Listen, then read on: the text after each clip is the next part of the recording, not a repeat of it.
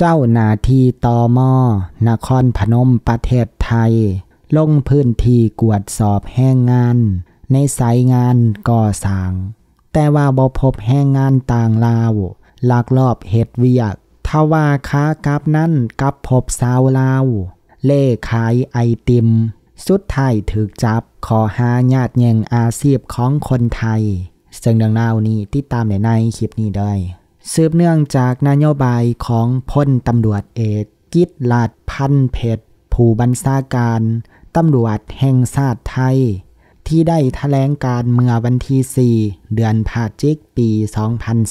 2024ให้ปราบปรามอาชญากรรมขามชาติและแห่งงานต่างลาวผิดกฎหมาย โดยสั่งการให้สำนักงานตรวจคนเขาเมือง หรือว่าสอตอมอ ต้องบอปล่อยปะละเดยให้มีการลักลอบกระทำความผิดเกี่ยวกับแห่งงานต่างลาลบนี้เขาเมือง และประกอบอาชีพโดยผิดกฎหมาย ซึ่งทางด้านสอตอมอภายใต้อำนวยการของพ้นตำรวจโทอิทธิพล อิทธิสารไซผู้บังคับบัญชาสำนักงานตรวจคนเข่าเมือง ไล่ทายทอดนโยบายของผู้บัญชาการตำรวจแห่งชาติให้เข้มงวดกวดสอบคนต่างเล่าผิดกฎหมายในพื้นที่โดยให้ละลมกวดล่างเกี่ยวกับแห้งงานต่างเล่าผิดกฎหมาย และอาชญากรรมอื่นๆ ทั่วประเทศละวางวันที่หาหาวันที่15เดือนพฤศจิกปี 2024 ซึ่งมือทำอิฐของการดงปฏิบัติการ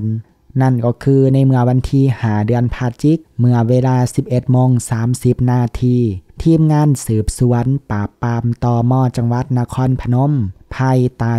อำนวยการของพันตำรวจเอก พัทละพงอินวันนา ผู้กำกับการตอมอจังหวัดนครพนม ไล่ดงพื้นที่กวดสอบแห้งงาน ในสายงานก่อสร้างบริเวณพื้นที่ห้องเฮียนเก่าแห่งหนึ่ง อยู่ที่ตำบล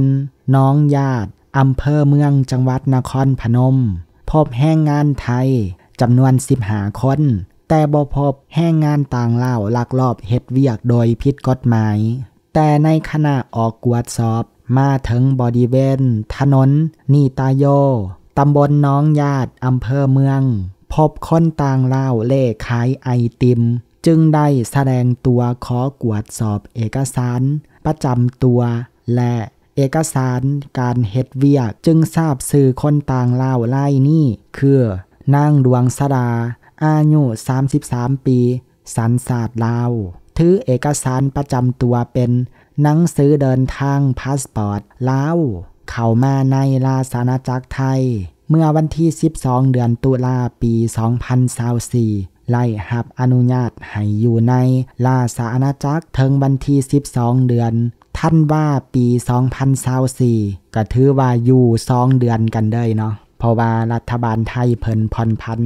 ให้อยู่ได้2เดือน หวานเจี๊ยบเลย แต่คนต่างเล่าไล่นี่บ่มีใบอนุญาตเฮ็ดเวียก เจ้าหน้าที่จึงแจ้งให้นั่งดวงสะลา ผู้ถึกจับทราบว่าการเล่ขายสินค้า เป็นงานที่ห้ามค้นต่างเล่าเฮ็ดโดยเด็ดขาดตามประกาศกระทรวงแรงงาน เดืองกำหนดงานที่ห้ามค้นต่างเล่าเฮ็ดลงวันที่หนึ่งเดือนเมษาปีพศ2563บัญชีหนึ่งเวียกที่หามค้นต่างเล่าเฮ็ดโดยเด็ดขาด ขอที่เศร้าซ้ำระบุว่า งานเล่ขายสินค้า ซึ่งพฤติการดังกล่าวเป็นการกระทำความผิดในขอหา เป็นคนต่างเล่าเฮ็ดเวียกโดยบ่มีใบอนุญาตเฮ็ดเวียก หรือให้คนต่างเล่าเฮ็ดเวียกนอกเนื้อจากที่มีสิทธิ์ตามมาตรา8 ประกอบมาตรา101 แห่งพระราชกำหนดการบริหาร การเฮ็ดเวียกของคนต่างเล่าพศ2560 แก้ไขเพิ่มเติม เจ้าหน้าที่ตำรวจสุดจับกลุ่มจึงได้ดำเนินการจับกลุ่มผู้ต้องหา